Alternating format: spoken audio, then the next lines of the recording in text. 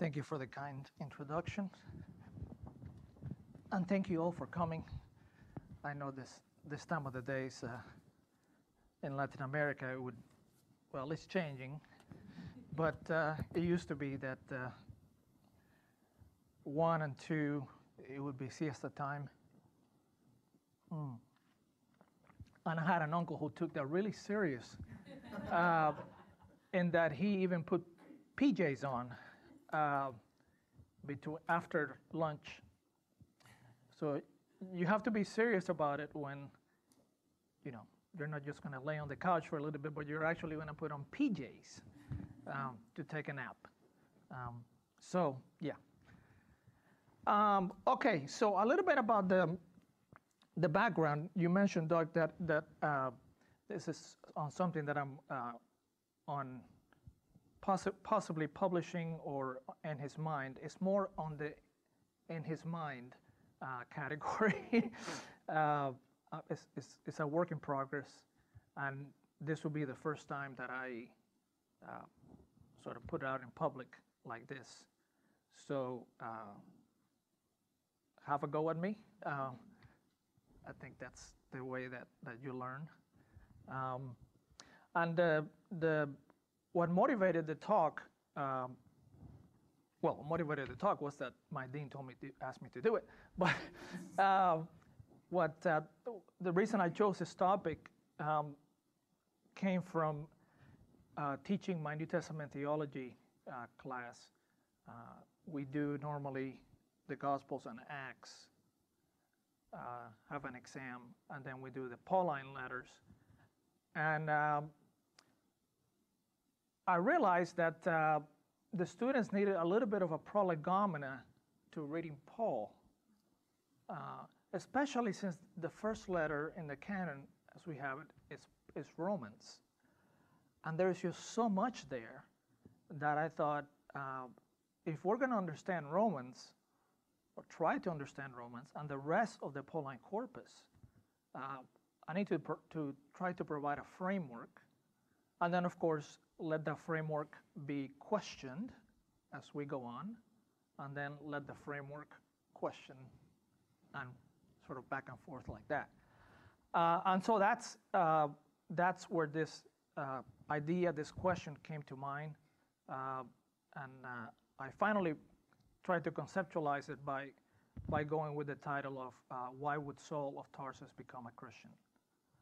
So, again, this is very much a work in progress. Uh, I'll read the beginning uh, and then I'll just uh, sort of talk uh, after the introduction. Why would Saul of Tarsus become a Christian? The initial title for this talk was Why Did Saul Become a Christian? By the way, I realize that when I use the word Christian to speak about Saul at, at, at this point, it's an anachronism uh, Christians were not so called until much later at Antioch. Okay, uh, but I'm not going to say why did Saul become a believer in Jesus. let's just leave it as Christian. So the initial title of the talk was Why Did Saul Become a Christian? The more reflection I gave to the title and what I wanted to communicate, I decided that a better title is the one in front of you. Why would Saul of Tarsus become a Christian.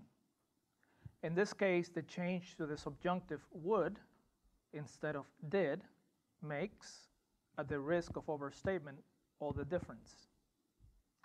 Because to frame the question as why did Saul of Tarsus become a Christian may imply that, given Saul's knowledge of Judaism and his knowledge of the Christian faith, by the way, I'm assuming that he heard enough uh, angry though he was, but that he heard enough of the Christian faith uh, from, from the Christians that he persecuted, certainly Stephen, that, that he knew something of, of the Christian faith. So, going with why did Saul of Tarsus become a Christian may imply that given his knowledge of Judaism and his knowledge of the Christian faith, he would surely move on from Judaism.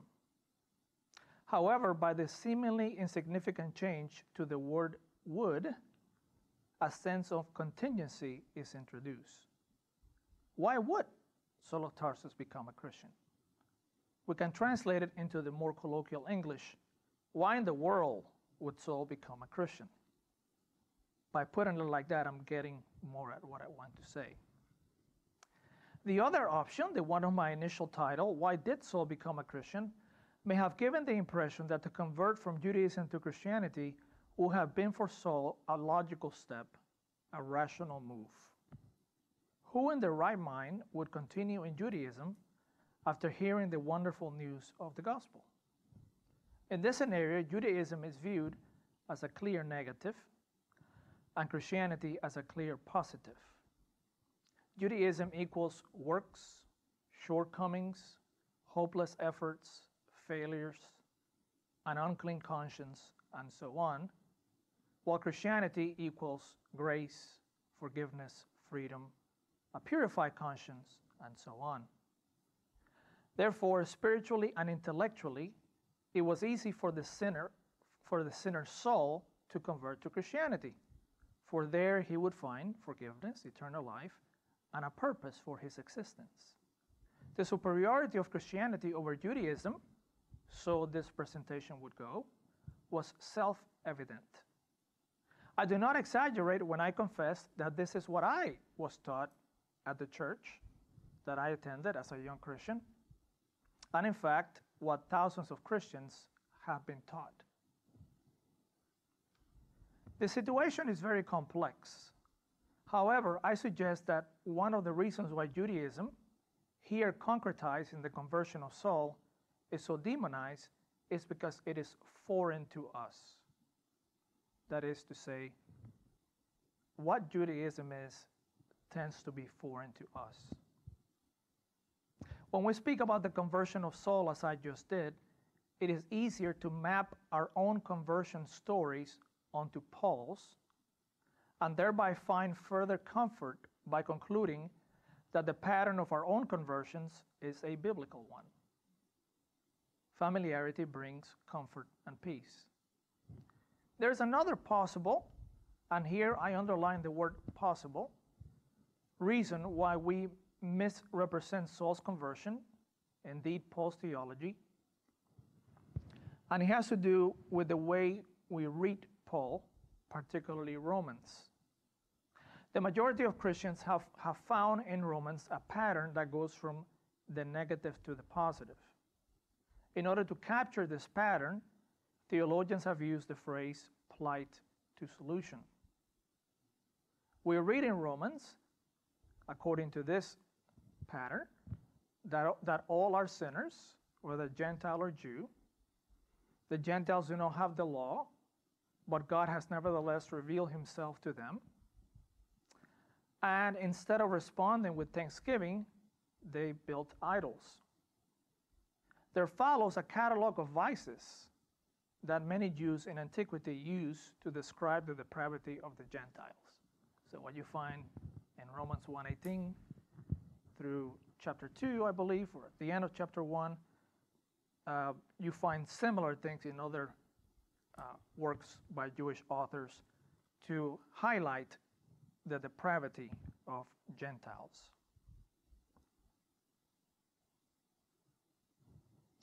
However, Jews, according to Paul, are no better. Despite being the chosen people of God and receiving the very oracles of God, the Jews failed to obey God. And so whether you're Gentile, Romans 3:23, all have sinned and fall, and fall short of the glory of God. Humanity is indeed in a plight. But then there is the turn to the solution. God, based on his sheer love, has sent his son Jesus Christ, who has atoned for our sins. When we come to him in repentance and faith, all our sins are blotted out. Romans 8:1, one of my favorite texts of all scripture, there is now no condemnation for those who are in Christ Jesus. This admittedly simplified presentation constitutes wonderful news for those who are desperate and are looking for forgiveness in a new life.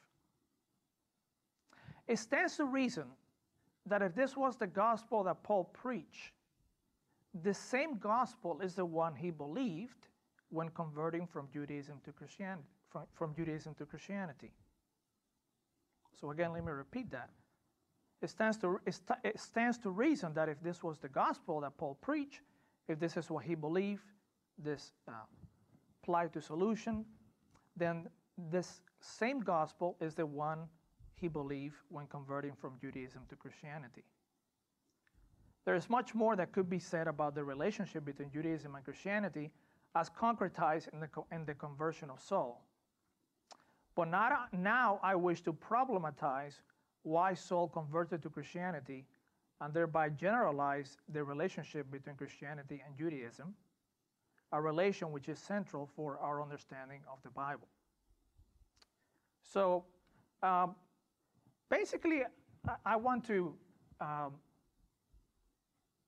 in the context of my class in New Testament theology, I want to shake my students a little bit. Um, maybe that's not the best analogy. But uh, yeah, whisper some things into their ears uh, about Judaism uh, and uh, try to, uh, yeah, try to make the, the picture that they bring in a little more hazy uh, in order to force them to read more text and read them more carefully. So um, I put it to them this way Why would Paul become a Christian when, as a Jew, he had it all? And the, the, the looks that I get are, are pus- puzzle looks. What do you mean that he had it all? So, well, think about it. As a Jew, Paul was part of the elect people of God. The God of the universe had chosen this little people, uh, not because of their greatness or because they were more pious than other nations, but out of sheer grace, he had chosen this little people, and he would reveal himself to them, and he would be their God forever no matter what. And Saul belonged to those people. Number one. Number two, because they were the people of God, God revealed himself to them. He gave them the Torah. And uh, you do any reading in Rabbinic Judaism, and you're going to see how important the Torah is for the Jews. Um, it was everything. Um, you know, if you had the Torah, uh, that, that just show uh, your superiority. Um, so God has chosen you in election, in gracious election. God has given you the Torah. God has promised you a beautiful land that flows with milk and honey. Uh, God has given you precepts to guide your life, uh, existence without any um, rails, can quickly become boring uh, and even suicidal, I would say. Uh, but when you have laws and rules, uh, some of those things are helpful in, in forming a pattern for life. So, so they had the, the Old Testament, the Bible. Um, and the question then becomes well, what about sin? The, true uh, anthropological reality that no one can evade. is part of who we are. What about sin? Well, God has, some, has done something about that too. He has given you the temple. And with that temple, um, your sins can be taken care of. That's kind of a simple way of presenting it, but if you think about it, that's not bad. You have the God of the universe as your God. He has given you His Torah, He has revealed Himself to you, uh, given you a land, given you a way to deal with your sin. Uh, if you do sin and you are exiled, uh, if you repent and cry out to Him with all your heart, He will bring you back. Um, and then one day, depending what areas of Judaism you read, uh, a Messiah would come. Uh, and, and as a friend, as a Jewish friend of mine, uh, used to say that, that, that meant for us that uh, every Jew, every Jew would have a home in the suburbs uh, with two garage, house, and a dog. but anyways, that was that was the, her interpretation of uh, the blessings of Judas. Anyways, um, if you have it all like that, why would you convert to Christianity? And so when you put the question like that, uh, it makes you think a little bit more about precisely wh- why Paul uh, became a Christian. Okay, so uh, to dig a little deeper into these uh, categories, um, the, the uh, method that I want to use is the following. I want to look at some biblical texts that talk about those advantages, those blessings of being a Jew, and then I want to use some texts from the Second Temple period that uh, match with what the biblical texts say. So, in your handout, um, be, uh, here with Roman numeral two, I began uh, to to pose uh, to pose the questions by showing uh, the blessings of Judaism. So. Uh, this is coming from Romans 1 and 2. What advantage is there in being a Jew? You would think that if, uh, even though the Jews had the law, while the Gentiles didn't have the law, and yet the Jews sinned, you would think, well, what advantage is there is there for having the law if we're going to break it anyways? Well, what advantage is there? Paul's answer is much in every way. Uh, and I would think that uh, that's, a, that's just a biblical answer. That's a straight up biblical answer. God has said that if I, by giving you the law, uh, I've, I've done good. I've blessed you. And so it is good. It is an, it is an advantage. It's just a biblical statement. So, anyways, what advantage is there in being a Jew? Much in every way. And uh, that question is going to get picked up again uh, in, a, in, in a different sort of way in chapter 9, verses 4 through 5. Some of the easiest chapters, right, of the New Testament. So if we look at chapter 9, verses 4 through 5, um, Paul here gives us a list of what advantage is there in being a Jew? What are the blessings? So, number one in your handout, first of all, the Jews have been entrusted, uh, excuse me, uh, we're still in three. Uh, we'll move to nine in just a second. Uh, so, first, Romans 3 2, first of all, the Jews have been entrusted with the very words of God. Um, it's interesting the language that Paul uses here to speak that uh, which Israel has received, or that which ha- that which has been entrusted to Israel, the logia of God.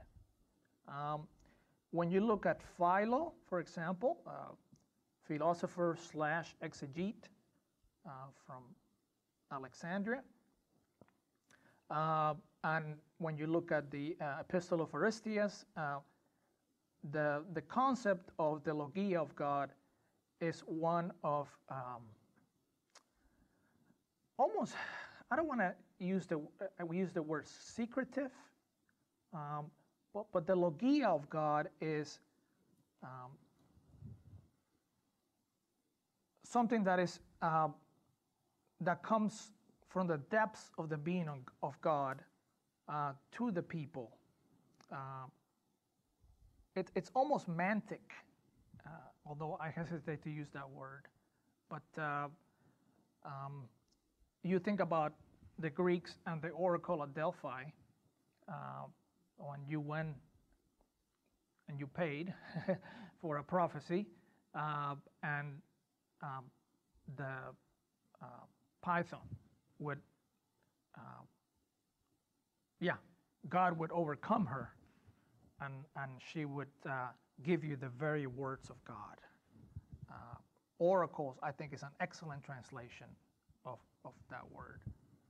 Uh, and so the Jews have been entrusted with the very words of God. Uh, notice the, the language of, of entrusted. Um, these are not their words. This is not, this is not uh, their revelation. This is coming from God, and they're entrusted with it. Um, and Philo uses it to speak of Balaam, uh, who sort of gets overcome by God uh, in Numbers 24 16, and he just speaks. It's almost like the human, um, like human rationality is moved out of the way, and all you have is the total direct access to, uh, to the mind of God, logia oracles. Uh, it's also use of the Torah. Um, and then in 1 Thessalonians 2, 2 4, and I think Doug will, remember th- would remember this too, uh, we hear about being entrusted with the gospel. Uh, forget if it's a dative or a, or a preposition, but entrusted with the gospel. So God has spoken to you uh, from the very depths of his heart, giving you his gospel. Um, you've been entrusted with the oracles of God. Okay, now we can move to number two, uh, 9 4.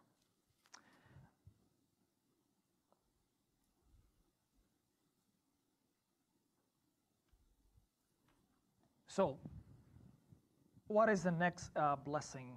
Um, 9 4, we hear of uh, theirs is the people of Israel, or simply uh, the, people, the people of Israel.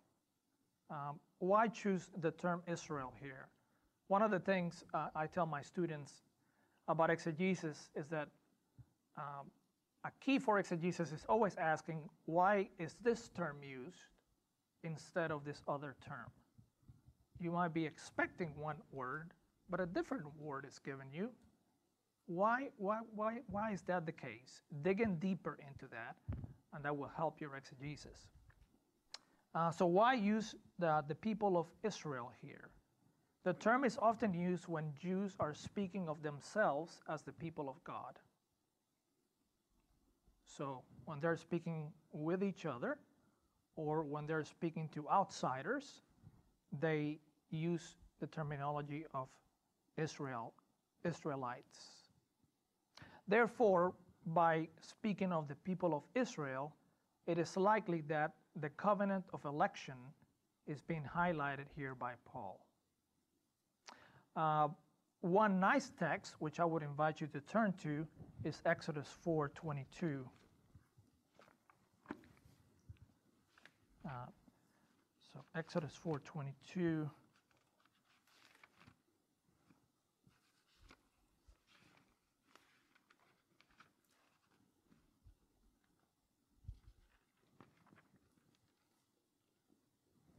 Verse 21 The Lord said to Moses, When you return to Egypt, see that you perform before Pharaoh all the wonders I have given you the power to do.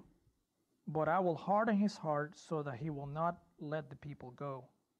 Then say to Pharaoh, This is what the Lord says Israel is my firstborn son. Uh, do you see the uh, closeness, the familial use of language here. Israel is my son. Uh, so let him go. Let Israel go. So by using the, the language, going back to, to Romans 9 4, the people of Israel, he's highlighting, I think, already the covenant of election. So going back to the language that I use in a little bit more, uh, more of a colloquial sense at the beginning of the lecture, um, you know, what, what, what blessings did the Jews have? Well, they have it all. Well, the, number one, they are the elect people of God. So much so that, that they can be called Israel, the son of God. Next, in Romans uh, 9, uh, we hear that uh, theirs is the adoption to sonship. There you see the connection. Um, to the previous blessing. Paul is highlighting God's grace by speaking of the adoption of Israel. This is an act of grace which shows God's love, but which is not recipro- reciprocated by the people. That is the way that it is often used. I have adopted you, I've taken you to be my son or daughter, and yet you have not responded in the way that I that you should respond. Um, one key text here would be Hosea 11:1. Um,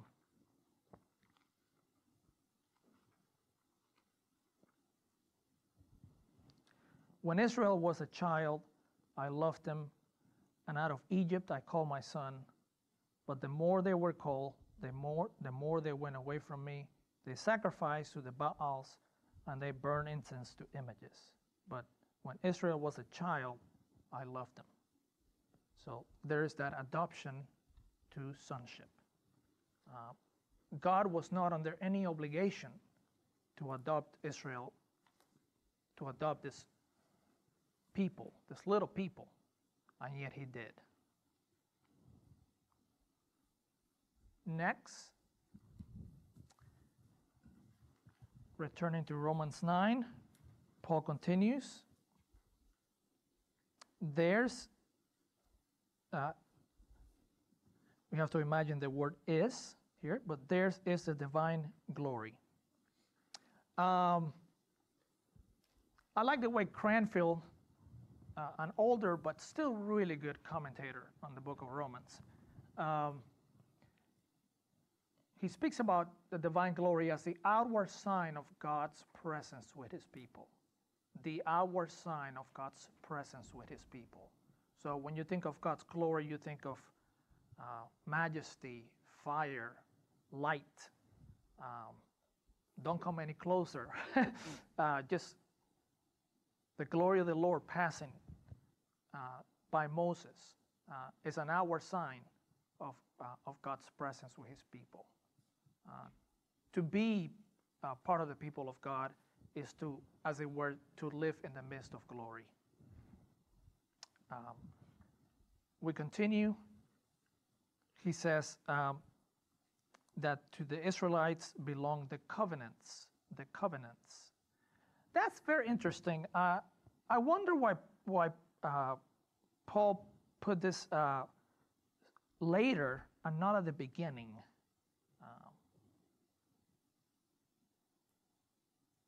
Anybody have any thoughts about that? Since this is a small class, I didn't think about doing this, but now, now maybe, maybe I'll ask. Since it appears that everything begins with the covenant, why not begin with the covenants here in chapter 9?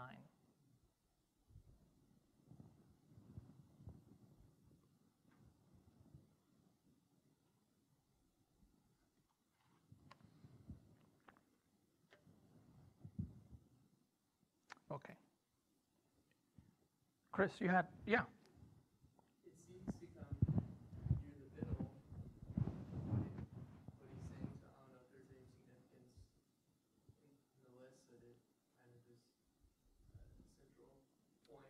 Ah, ah. point to the others. Yes. So like like a chiastic chiastic uh, construction, and that that comes in the middle. I'd have to look at that more. I hadn't thought about it that way. I've thought about the um, how it's patterned, but not uh, not in that particular way. Yeah. Anyone else?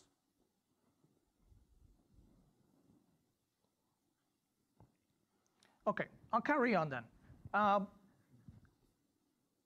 the covenants. Uh, yeah. Uh, Michael his- in his comment, the second volume of his commentary, really, really good commentary. Uh, uh, in his opinion, the, referen- the reference is to all the covenants God has made with Israel, from uh, the Abrahamic covenant in Genesis 15 to the new covenant of Jeremiah 31. So, um, by using the, the plural here, uh, is, this is not done by accident, but is on purpose.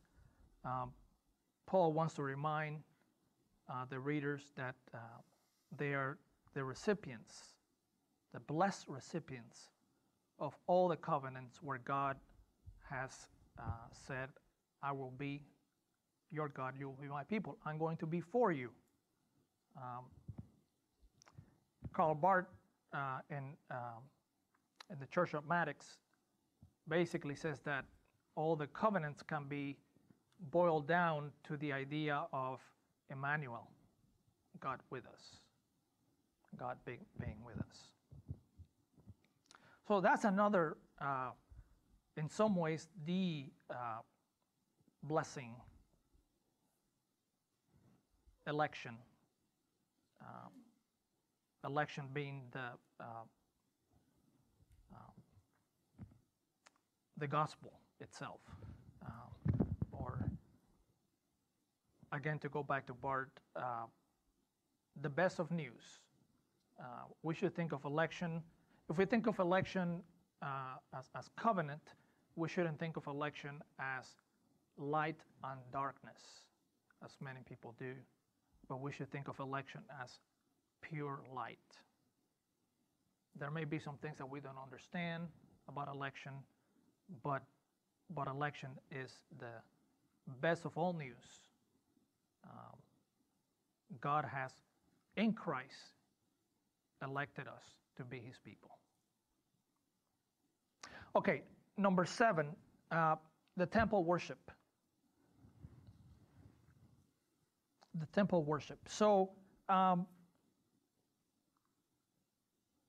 we can read all about that in the book of Leviticus, and, and uh, a lot of the temple worship is keeping the land pure.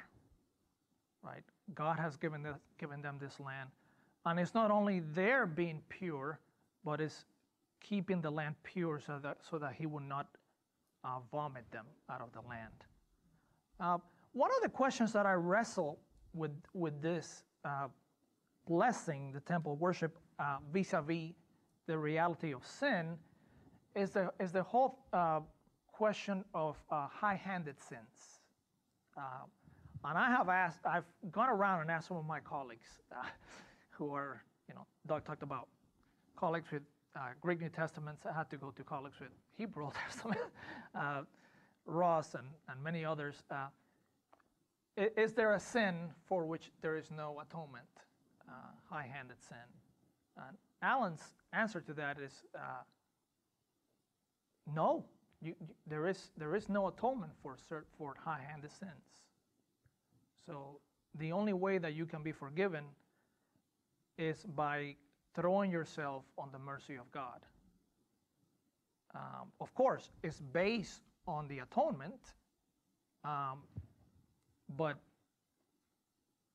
God, you have to go to God in humility. Um, and he used the example of Psalm 51. After all that David had done, he said, I would offer you a sacrifice if I could, but, but there's nothing I can do, so uh, be merciful to me. Um, whereas others of my colleagues believe that in Yom Kippur, um, even the high handed sins uh, could be forgiven. That would be something to, to study a little bit in more depth and to, um, to come back to later. But in principle, here, we find that with the tabernacle first and then with the temple, um, they could meet God, uh, heaven on earth, uh, yeah, heaven on earth, God coming down to the land and meeting His people, worshiping God. Um, and indeed God forgiven their sins. High handed too? Well, that's for another day. The next is uh, the next blessing is the promises, um, and in light of uh, Romans 4 13 to 22 and Galatians 3, uh, I believe that this is a reference to the Abrahamic covenant.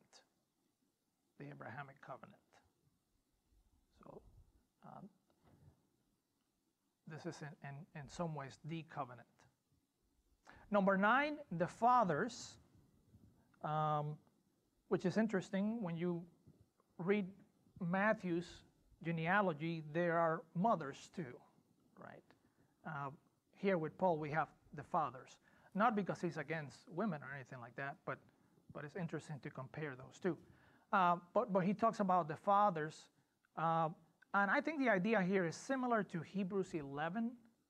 Um, and also similar to uh, a book that is, not, uh, that is not accepted as canonical in Protestantism. I'm not sure if it's accepted as canonical in Roman Catholicism. Does anyone know if Sirach? What book is it? You mean Ben Sirach? Yeah, Ben Sirach Okay, for for, for Roman Catholics. Okay, good. Uh, in in in Sirach 44 through 50, you have a long list, uh, really an encomium of the great men of Israel. It's a fascinating section, really, uh, where um, there is a, we speak about election, there's a kind of election here only showing you the best of Israel. Uh, I think the author of Wisdom of Solomon does something, something similar too in his book. But uh, it shows you in 44 to 50, it gives you a list, an encomium of the great men of Israel.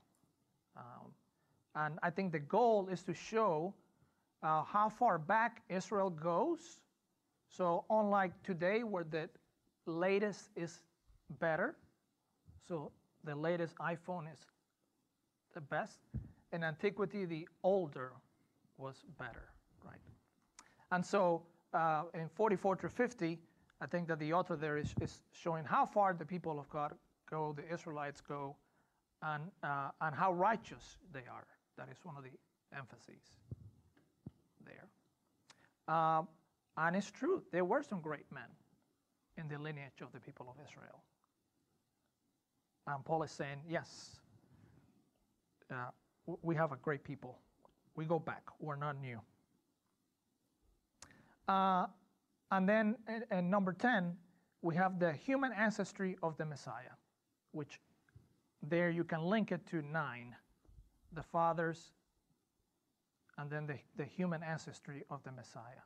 Paul will speak more of the Messiah in the rest of 9 through 11 uh, as the Savior, the Savior of all humanity. Conclusion As a Jew, Paul or Saul had it all. He did not even have pangs of conscience. As we read Galatians 1 through 2 and Philippians 3 4 through 6 and the Acts of the Apostles, Paul did not seem to be looking for a Messiah to forgive his sins. For that, he had the temple. Whenever he speaks of his pre Christian life as sinful, see, for example, 1 Timothy 1, it is from uh, his perspective as a Christian. Prior to Christ, Paul saw himself as a righteous Jew, full of zeal for the law, and a persecutor of the church, which he likely viewed as uh, the church, which he likely viewed as a false, uh, as, as propagating false doctrine, a, a contagion, contagion that would bring punishment to Israel. So I, I think that uh, Paul probably viewed himself as uh, Phinehas in the Old Testament, who, uh, to avoid God's judgment on the people, uh, he, well, he kills some of the people. Uh, and so, so Paul, with his zeal, uh, that did not give him a, a dirty conscience when he went to bed, but that actually showed how godly he was. Great zeal for the Lord. Okay, let's move now to Paul's conversion or Saul's conversion. Uh, in light of all these blessings that he had as a Jew, why in the, why in the world would Saul become a Christian? Um, let's begin with the letters. And there are a few statements there that talk about um, his conversion. Uh, Galatians 1 13 to 16.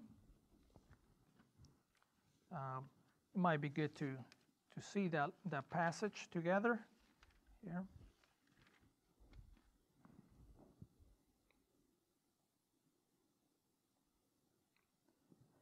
Um, he is responding um, to uh, the false teachings and the uh, yeah some of the false statements that the uh, Judaizers have been dropping into the churches of Galatia. And one of the ways that he's going to respond is by talking about uh, his conduct prior to becoming a Christian. And verse 13 uh, begins For you have heard of my previous way of life in Judaism.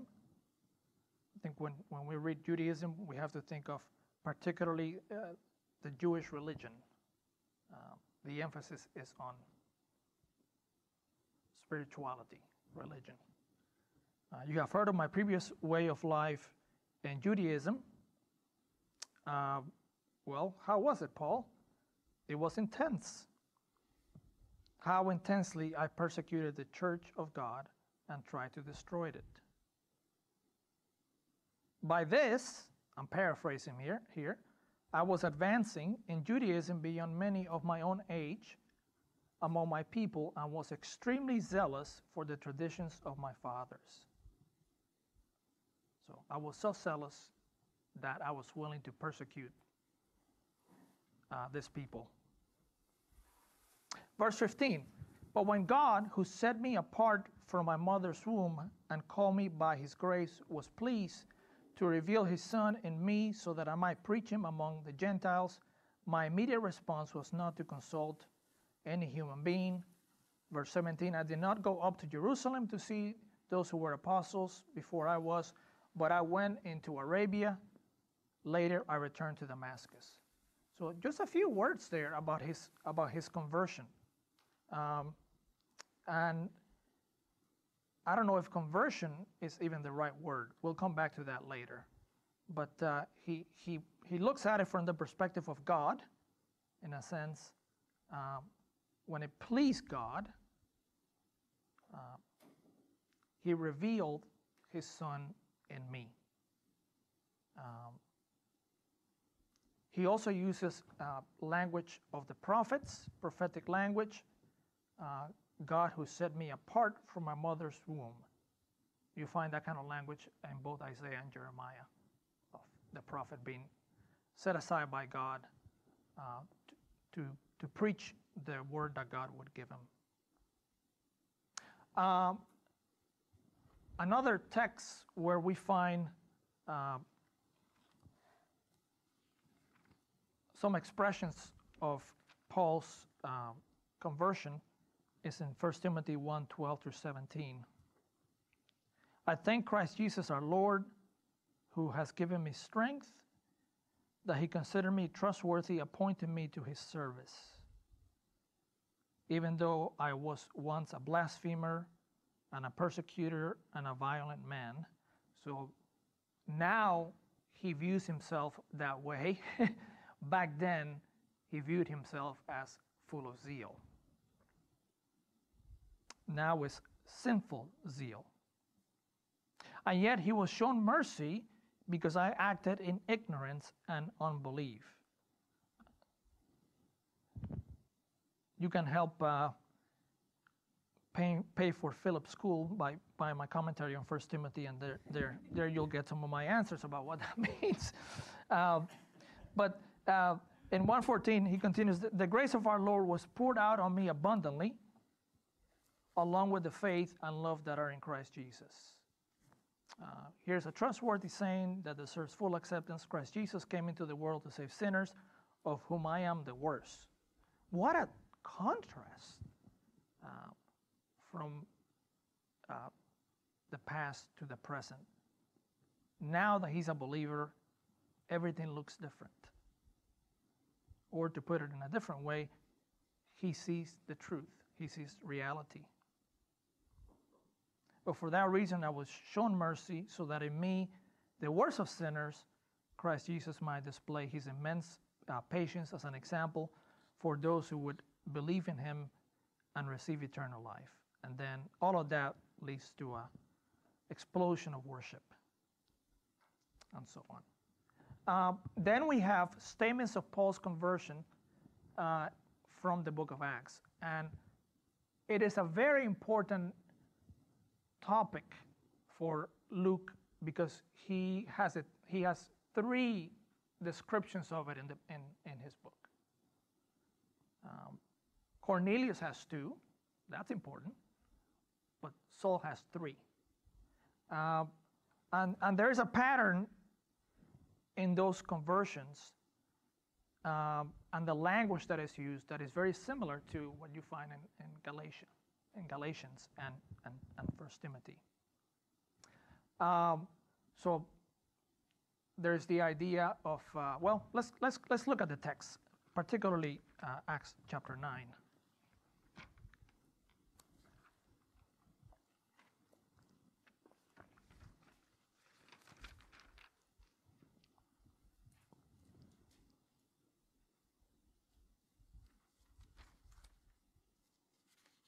Uh, I was uh, reading a commentary that who, uh, a commentator who complained that uh, the way that the conversion of Saul is narrated here uh, is from a Christian perspective.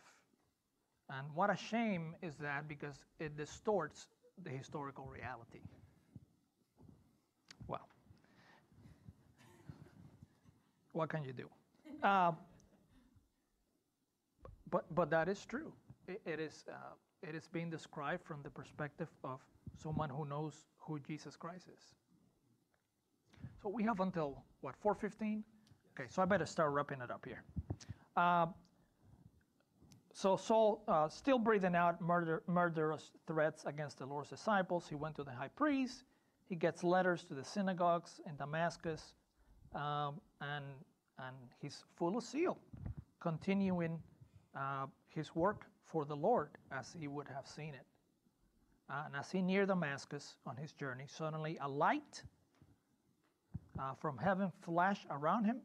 He fell to the ground and heard a voice say to him, Saul, Saul, why do you persecute me? Who are you, Lord? Saul asked. I am Jesus, whom you are persecuting. Now get up and go into the city, and you will uh, be told what you must do. We are told that uh, he, he's uh, fasting uh, later in, in the chapter, and that tells me that he realized that what, what he was doing was wrong. And he was fasting, begging, humili- humbling himself before God, asking for his forgiveness. Um, and so we have a very similar account in chapter 22. He's saying this to a crowd in Jerusalem. Uh, they they go crazy, um, and if you've ever been in a in a place with a open place with a big mob, uh, you know how easy that can turn into dangerous and life-threatening. And that's what happened to Paul as he was retelling his story, probably in Aramaic, it says. Um, and and and they could they couldn't take another word, and they he he had to be rescued actually by a Roman soldier. And then uh, in Acts 26, uh, he spe- he speaks before Agrippa, um, who knew very much about Judaism and was for the Jews when when the Jews were behaving, in, in his opinion, uh, in the right way. And then uh, verse 15, then I asked, uh, well, verse 14, we all fell to the ground, and I heard a voice saying to me in Aramaic, Saul, Saul, why do you persecute me? It is hard for you to kick against the goats.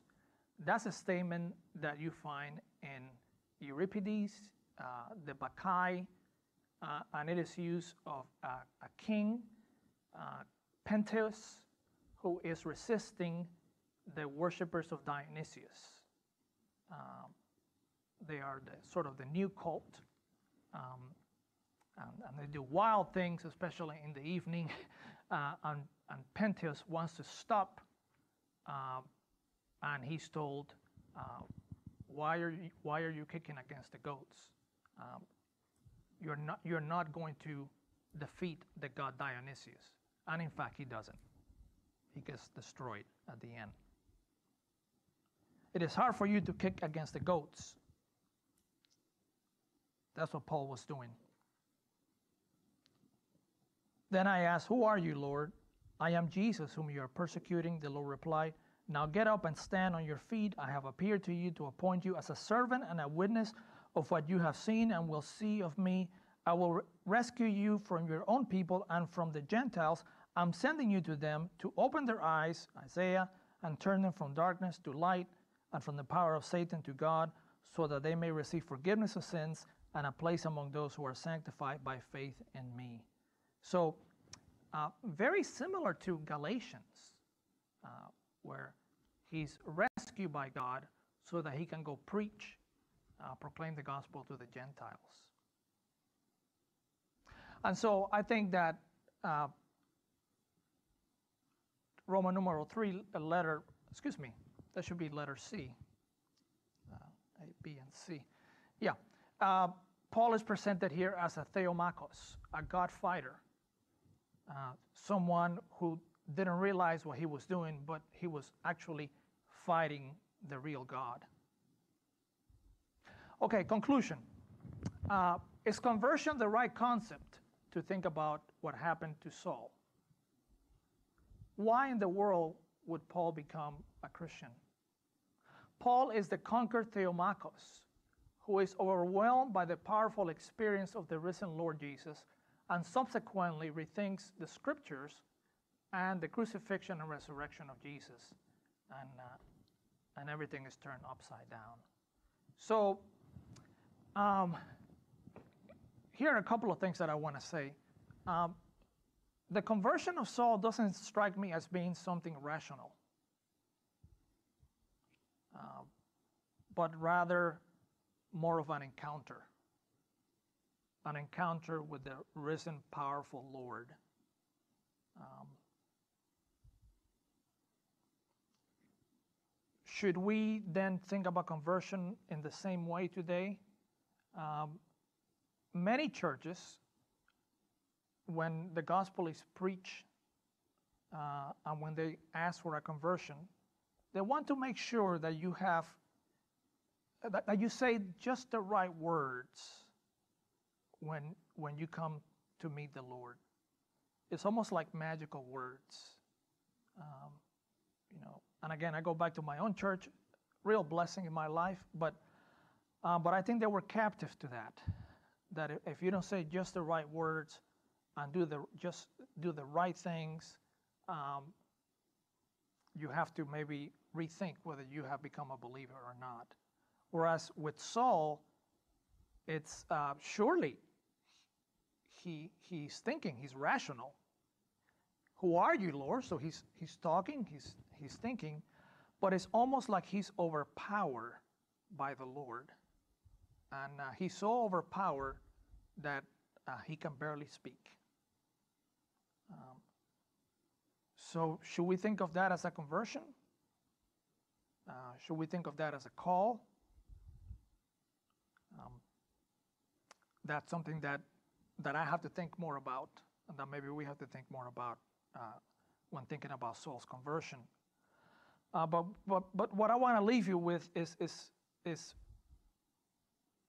with the idea, is with the idea that uh, Paul's conversion from Judaism to Christianity uh,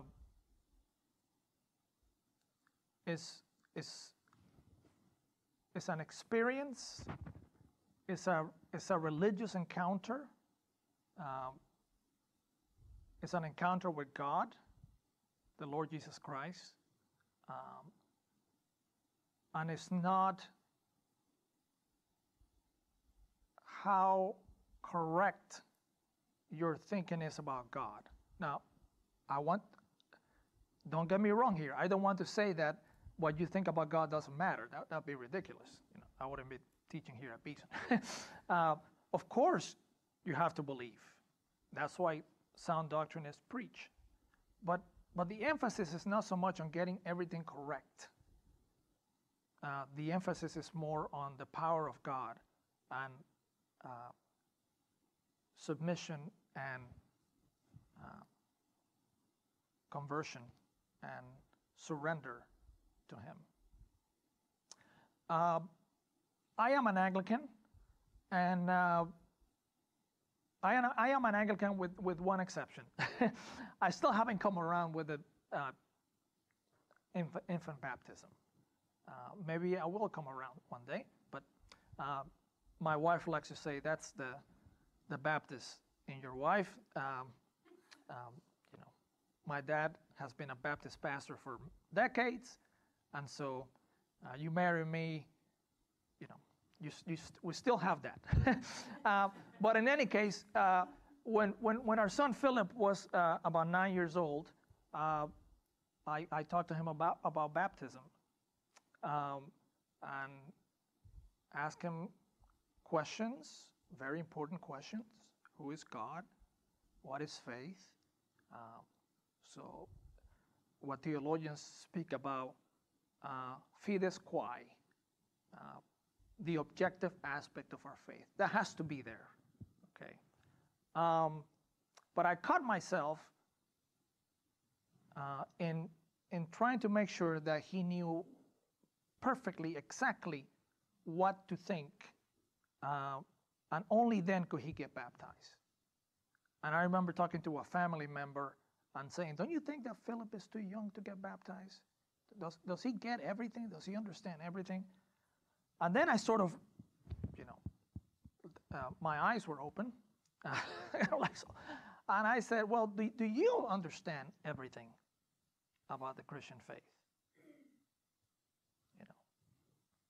So, uh, yes, fides quae, the objective aspect of the faith, is crucial, is important, but uh, the emphasis on Saul's conversion is an overpowering by a merciful God uh, that leaves him in silence. The only thing he can ask is, Who are you, Lord? Okay, um, I went longer than I wanted to go, uh, but that's, that's it. Thank you very much, Dr. Padilla.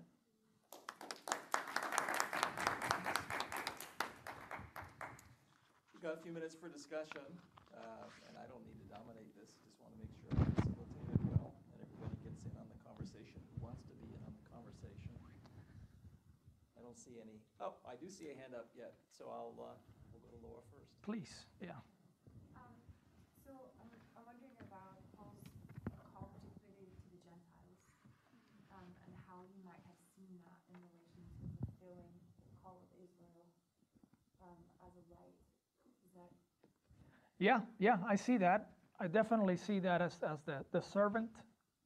So, you know, I think you have the servant with a capital S and then the servant with a, the servants with a lower cap, lower S. Uh, and, and Paul is part of that uh, with a lowercase s. it just seems like a way that it, it might have shifted his sense of what it meant to be an obedient Israelite. Um, So to be an obedient Israelite um, would be to be part of the servant. Is that is that kind of what, what you're getting at? Yeah, just in light of this is the Messiah and the Messiah's the suffering servant and all, all of that, um, then what does it mean to, to be called to be like the Gentiles and, um, Ah, I see, I see. Yeah, I, I, I, want to say yes to that. Um, but I want to say that maybe um, that's something that he could think carefully about after his conversion. Yeah. One of the things that I am trying to put the brakes on is the idea that somehow all of Paul's theology was downloaded. I'm sorry, I don't mean to make a make a caricature of others, but uh, I want to get away from the idea that everything was downloaded. I think it was, it was a long process uh, of working uh, through those passages uh, of the Old Testament. But I think that the key was, well, sounds simple. Well, Kathryn Tanner wrote a book, Christ the Key. So maybe it's not so simple. but the, the, the, the key is Christ. You know, Christ is the Lord, um, clothed in glory. Um, I, I remember, I think I spoke to Jonathan about this, um, that Paul ha- has written, I think it's in Second Corinthians, that uh, Satan himself uh, can dress like an angel of light. So, how did Paul know that this was not a satanic uh, impersonator, that this really was the Lord? And, and my answer, as far as I can come up with one, is that uh, that that was a, that was faith. You know, he he cannot prove it. You know, and I think the uh, I think the, there's an aspect of the there's an we cannot think our way into conversion, and I'm a little bit concerned with that kind of apologetics that I see around that. Uh, um, you know, apologetics is, is the bridge that can get you all the way there. It can only, you know, can only get you so far, uh, and I don't, and I don't even know that that's the language that I would use. But I want to be respectful of what others think. Yeah. Going off of that, um, I'm interested in what you think. So in Romans 10, um, starting in verse 2, I'll, I'll just read it. Paul says, For I bear witness that they, and I think he's talking about the Jews, have a zeal for God, but not according to knowledge, um, and specifically in ignorance of the righteousness of God. So I'm curious um, what you think about uh, Paul's understanding of, uh, of knowledge. In some way, he's seeing his, his conversion as a transformation of knowledge um, Mm-hmm. a right understanding. But as you're saying, not strictly or primarily in, in a rational sort of way. So, in what, what other senses do you think Paul understands knowledge? And I don't have my, my Greek New Testament, so I don't know for sure. Yeah. It- Specifically in, in the context of coming to a right understanding of the righteousness of God, which I know is Yeah. huge. I mean, I think I think it, would be reduc- reductionist to to just say he had a religious encounter and that I think he's part of a community, right? And that community has an understanding of the righteousness of God. Uh, I want to say that that Paul maybe reach an understanding that was very particular, uh, very strong. Um, but I want to say that uh, to the extent that he thought rationally uh, about his conversion and how the how the Bible fits together and how salvation history fits together, I think part of that is a um, a community knowledge that where, where that knowledge and that understanding is in community where the Holy Spirit is present, guiding uh, the community to uh, a right understanding of Scripture. But, but you know, uh, I almost I laugh at it because it, it's I don't know if it's an answer, but uh, E.P. Sanders, when when he was asked uh, uh, why what was the problem with Judaism, uh, I think he said uh, it's not Christianity. Is that is that isn't that what he said? Yeah. That's what he says Paul's answer is invalid, Paul invalidated Judaism. Yeah. He's in print on that. Yeah, yeah. So I think it's towards the end of the book. What's the problem with, with Judaism? It's that it's not Christianity. And that's a, sort of an exaggerated way of saying things. Um, Stephen Westerholm says that, you know, he's from Texas, so you, you should expect that. Um, but, uh, but yeah, it's like uh, the experience with Jesus was so powerful uh, that uh, everything else now looks different. You know, Christ is the center of everything, and and and that's uh, and that should have an effect on on how we do hermeneutics. So a, a, lot of you know, since I do some work on Acts, I have a lot of people ask me, um, you know, you know how the apostles preach and they preach Christ, but they use certain texts and so on that don't seem to point to Christ. Uh, can you do that, or was that only for the apostles? Uh, and my answer is, well, if I understand the genre of Acts properly, um, I think one of the things that Luke was doing was showing the Christians how the early church interacted with the synagogue on questions of the identity of the Messiah so that they would learn how to do it. So, should we follow the examples uh, that, we, that we find in the book of Acts? Uh, absolutely. That's why he wrote his book, so that we will know how the heroes of the church of the first generation, how they uh, engaged the synagogue to show that Jesus is the Christ.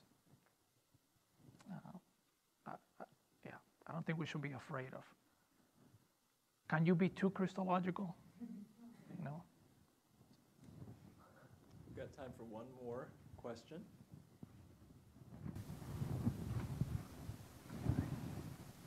I don't want to take it, sure no students want to. Um, I really appreciate this. This is a good conversation I'm interested in, as you know. And I think one thing that happens sometimes is this question gets posed and people aren't clear if they're asking a sociological question or if they're asking a soteriological question. And so you get these critiques, no, Paul didn't change religions. There was no such thing as Judaism, there was lots of different forms. Right. There was no such thing yet as Christianity. He went from being a Pharisaic Jew to being a Messianic Jew. And that just kind of takes place over here. And I think one of the things that was nice is you posed this question much more in terms of, um, was Paul called not from Judaism to Christianity, but in some sense from death to life? In a way that he didn't even realize he was in the state of death. And that, that diagnosis was kind of retrospective. And it just struck me that uh, some of the passage you point to in Galatians really emphasize that divine activity. So he says, I'm an apostle not from human beings, but through Jesus Mm. Christ and God who is. That the gospel I preached was not given to me, it was not taught to me from a human source, but through a revelation, right, an apocalypse Mm, of Jesus Christ. And then in the narrative you had, he says, I was, I had a former life, I was zealous, I was advancing among many of my peers, I was persecuting the church, but when God. And in verse 15, the subject of the verbs changed from being Paul to being God. Mm, He was mm, pleased to reveal his son to me. Mm. So it's only retrospectively the Paul there's no preparation for this. Not Mm. doing what lied within him as the medieval school knew it, that he was doing what he thought was one hundred percent right, and in retrospect came to see it as being one hundred percent wrong. Yeah. Persecuting the church, I don't mean everything about his life. Right, right. So just that emphasis on divine activity. So I, I suppose part of the question is, when you're asking this, why would he become a Christian? Are you asking it in terms of change of religion, sociology? Are you thinking much more fundamentally about sort of the questions of life, death, forgiveness, salvation? Yeah. Well, I don't know. Can you think? Uh, can you think without a sociological? Uh, without you know, can you think without without sociology? So, so, so that, that I think that's a that's kind of a question that I that I want to. Uh, what you say was very helpful, by the way, but but we belong to a culture, whatever language you want to use about a society. Um, can we think without one? Um, or do, to be a human being, do you need to to be part of of um, you know of a, of a particular community or society? Um, yeah. Ultimately, I'm asking existential questions. Um, that- that- that's really what I'm what I'm after. Um, and asking those questions for the church, um, and trying to help, in this case, students in particular, uh, and I'm learning a bunch in the in the process of um, trying to problematize things when they think about Judaism. Um, when when you pro- problematize things, at the same time, I think you clarify things, because the questions that you thought were basic are actually not that basic. uh, and so, yeah, I'd have to think more about your question, but uh, I want to go in the direction that, that, that you are suggest you are suggesting. Uh, it's more than just a change of uh, sex or a change of religion. It's a change of fundamentally to the very bottom who we are. Um, but can you do that um, asocietal? Let's use the alpha privative here. uh, yeah, I'd, I'd be curious to see, to think, you know, to hear what you think about that. Yeah, Thank you, sir. no, You join me in thanking Dr. Padilla. thank you. Thank you. Thank you. Thanks for your patience.